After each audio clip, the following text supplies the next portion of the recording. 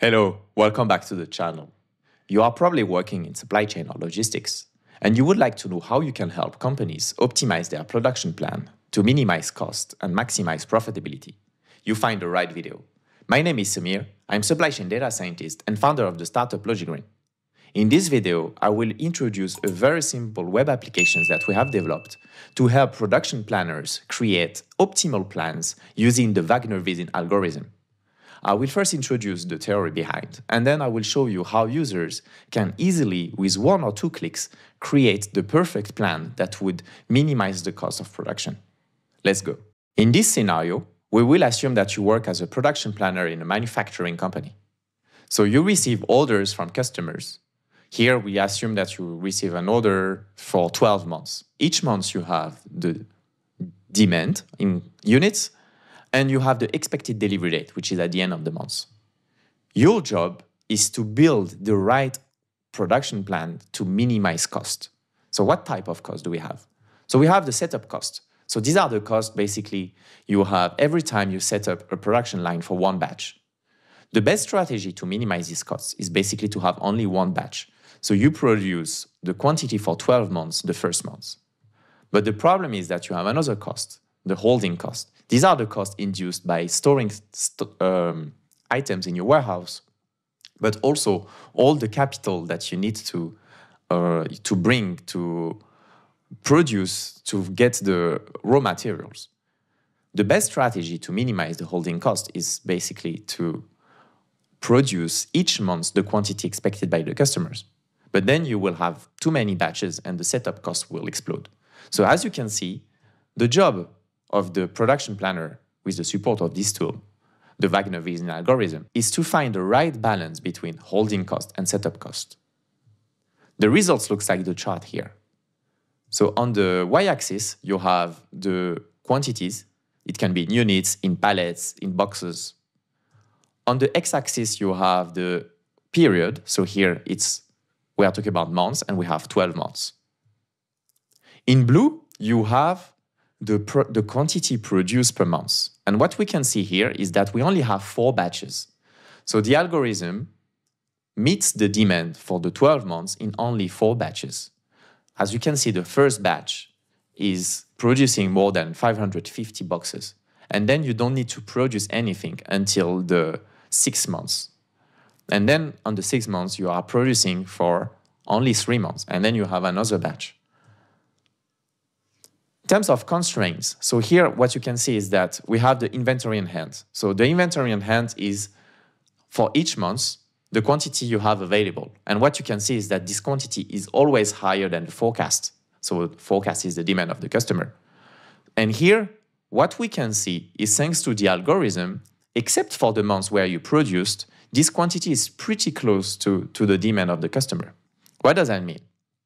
That means that we have found the right balance between minimizing the number of batches and minimizing the average inventory you have, which are linked to the holding cost. How to get these results? I will show you that in the app. So here we are in the Logigreen app.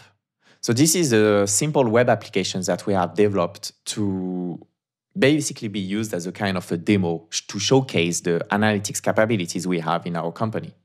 The idea here was to take the case studies shared in my blog and this YouTube channel and to provide access to the models so can users like you can test the model themselves.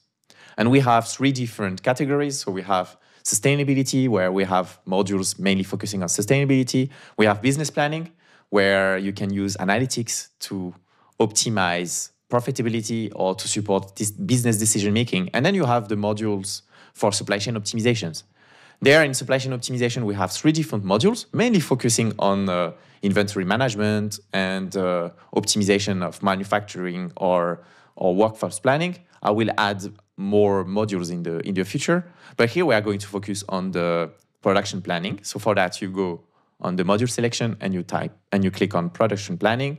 The first page would be a presentation page where you have the information uh, that I shared here or also in the article that is linked to this case study. And then you have the analysis tab where you have the different parameters. So how to select the parameters. If you need more help, you have here some clear explanations. But what kind of parameters we have? So the units, so that's the type of units you want to show in the in the in the chart. Then the period definition. So here we have months, and here for the unit we will take units. The currency. So here we are talking about cost, right? So what kind of currency you're doing? Here we are going to use dollars. And then here we have, if you remember well, the two different parameters. So the setup cost, so which is the cost of setting up a production line for one batch, and the holding cost. So the cost of holding a product, or, and I think it's per day. It's per month, sorry, and per unit. So Wagner-Whitin algorithm is basically will find the optimal plan to find the right balance between both. So how we can know that? So here, our data is already loaded. If you want to upload a data set, so it will invite us to contact us. So then we can basically work together on setting up the data and then test the, the solution together. But here we are going to use the data set uh, included in the, in the tool. So you just click on launch analysis. And here you have different type of results. So first, you look just look at the input data. So this is the demand forecast. So here, that's the number of units per month that the customer is expected. And as you see, we have 12 months, a total demand of 2,000 units. The maximum demand is 300, and we have, yeah, 12 months. Then the production planning. So that's what the algorithm shows as output. So here, in, uh, in red, you have the actual production, and in blue, the actual demand. And what you can see is like, as, as, you, as you saw in the presentation, we have four different batches. In the first batch, we produce for 550 units. And that basically help us to meet the demand until, until the months, the six months. And then here, we only produce for only three months. Don't ask me why. Uh, why it's that. It's a, a, complex algorithm that has been explained in the article that I will link in the description. But basically, yeah, this is purely automatic. And here what we can see is that I have the feeling that the setup cost outpace, I would say outweigh the holding cost. So the strategy of the of the tool is to minimize the number of batches because it's more ex it's more interesting to have higher inventory than multiplying the number of uh, batches because we have a setup cost that is high. And, and, and, I will show you later if we play the, with the parameters how things can change. And then the last one is more like financial to see, okay, along the period, what are the cumulative holding cost and setup cost? And what we can see here is that it's pretty balanced. So it's 50% holding cost, 50% setup cost uh, the, the, the algorithm found that the optimal solution is basically balance both. But yeah, as I told you, okay, let's play with the parameters. And this is the reason why I developed this tool is for you to play with the parameters. So let me maybe close that. So yeah, for instance, let's say that I told you that my feeling was that the setup cost outweighs the holding cost. So that's why we have limited number of batches. What if, for instance, we divide the setup cost by 10? So as you can see, on the algorithm is the model is automatically calculating the new result. And here, what we can see is that the number of batches is completely different. Now we are nearly producing every month. So basically, now the, uh, now the setup costs are lower, or we can say now, now in terms of weight, the holding costs are higher. It's more interesting for the model to say, to minimize the inventory. And if we look at the production cost, what we can see is that the holding cumulative cost is pretty low and the setup costs are still high, but they are high compared to the holding cost, but they are the total is way lower. And if I remember well, here it was 3,500, now it's 600. So you can see that the difference is pretty huge. Let's go back to the initial example. And now let's look at, let's see what happens is now if you multiply by 10 the setup cost. Boom, we arrive only at two batches. So which means that setup scopes are pretty high, but the holding costs are lower, low compared to the setup cost. And I think if I add another zero, it's probably one batch. Yes, exactly.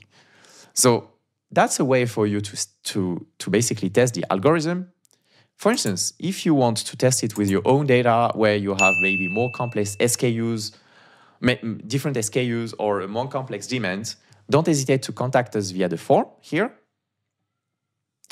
And we will set up the data for you and we will test it for you and maybe develop a specific module or specific uh, solution for you. If you are interested to learn more about the different analytics products that we have developed and that are included in the, in the demo uh, version of our app, don't hesitate to go to our website, logi-green.com. You go on case studies. And for most of the case studies, I think except for the supply chain sustainability reporting, you will have a complete case study based on an actual example where you can where we state the problem and we provide the solution using analytics and then we provide a link to the specific module that includes the analytic solution that has been presented and that you can test. So for instance, let me take an example here. We have inventory and cash flow optimization. We have another video uh, about that. You have basically the complete case study. It's based on a medium business that ask our support to optimize their cash flow management and inventory. And then in the end of the case study, you have access to the, you have a, a, small brief presentation of the app and you have access to the link to show you exactly, and then we have a brief explanation on how to use the app. It's a great way to explore what we're doing and, uh, and probably get some inspiration for you if you want to adapt that to your company. If you have any question about this case study, also don't hesitate to ask in the comment section.